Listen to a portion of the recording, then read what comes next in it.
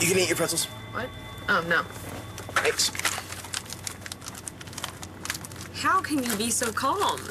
David and Dorian could be getting hitched by an Elvis impersonator as we speak. Do you know how long it takes to get an Elvis impersonator? In Vegas? At least a couple of hours, and that's if there's no waiting list.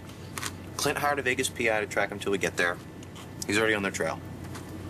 So you're not worried? Trust me. We will get there with plenty of time to stop Dorian from marrying David. And maybe have a wedding of our own. I think my ears are stuffed up. Did you just say what I think you said? It depends. Did you hear me say that I want to get married in Vegas? Did Shane put you up to this? What? No. Because he was asking me about it right before you showed up today. Looking at all the chapels in Vegas got me thinking. My divorce is final now. Shane basically accepts me as his father. We love each other. What are we waiting for? Ugh, you know, I hate to get all girly on you, but I would kind of like a proposal. On bended knee, the tray table's kind of in the way. Well, not now. It doesn't count because I just told you I wanted it. Okay, as soon as we hit the tarmac. Oh my god. Balsom. Look, I know you've done this, what, three times already? But who's counting? yeah, well, this is my first time. If it makes you feel any better, this will be my last wedding. Mine too. So I want all the wedding stuff. So, uh, flowers, photographers, caterers, And you and Shane in matching tuxes. and you in a beautiful white gown walking towards me. I can live with that. So you don't mind waiting? I, I was looking forward to the drive-through wait. if you want to wait, we'll wait. As long as there's no other reason you don't want to marry me. Actually, there is. Why do you want to get married to me? Oh, it's not about you. It's just when I was little and I would dream about my wedding, I always pictured my dad getting me away. So you don't think I want to come? Rex, the last time I saw my dad was when he kicked me out of the house for getting pregnant. What? Yeah.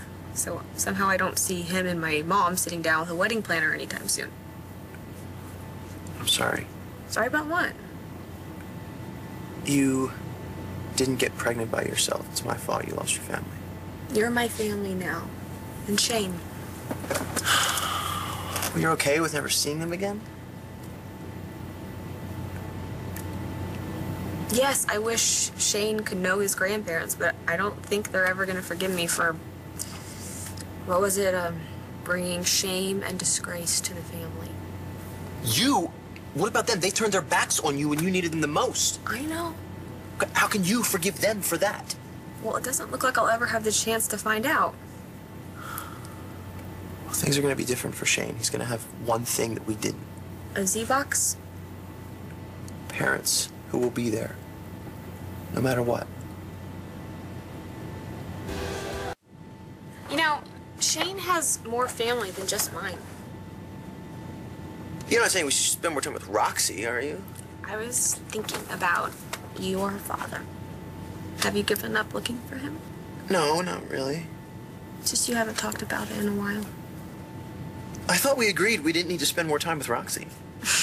So she just she won't tell you? But if you want to know whose hair plugs, All right, all right. Isn't there anyone else? I tried. The leads I had went dead. And that's it. What else is there? Spit it out, Morasco. Rex, you're a great PI. Why else would Clint Buchanan hire you to find David and Dorian? What are you saying? That I don't really want to know who my father is? No, I just think that you're worried that you'll be disappointed if you do.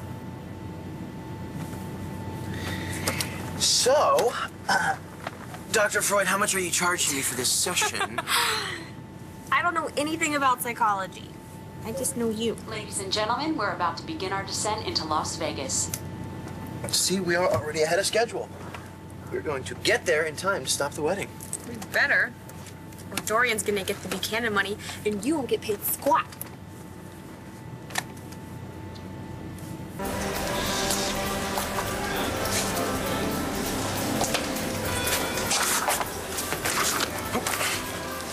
Please tell me you found something. This is like the gazillionth casino we've been to. And my feet hurt. Uh, a bottle of champagne was ordered and sent to the honeymoon suite and charged to Dorian Lord. What are we standing down here for? No, I, there's no one there. I already checked. Where are they? I don't know. But I do know Dorian, and she would have gotten David back up there to consummate the thing. Ew. So, do we need to go to all the chapels in this town?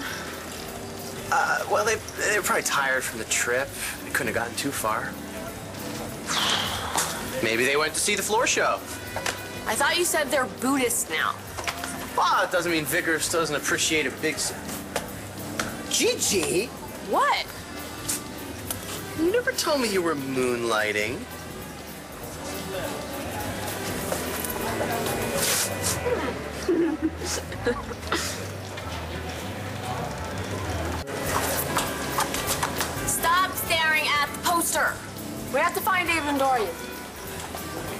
Right, no, poster not staring at. No, you're the only Gigi for me. You know that, right? Okay.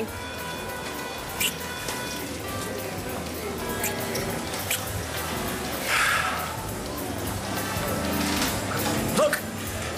I'm not going to any strip tease, Rex. No, no, no, no, no, not the floor show. The chapel. Let's go, that's gotta be the place.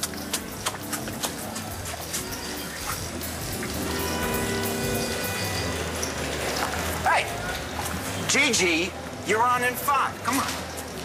What's the matter? You look like you've seen a ghost. Something like that.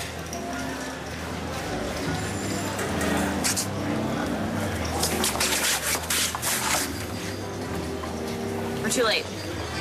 Nah.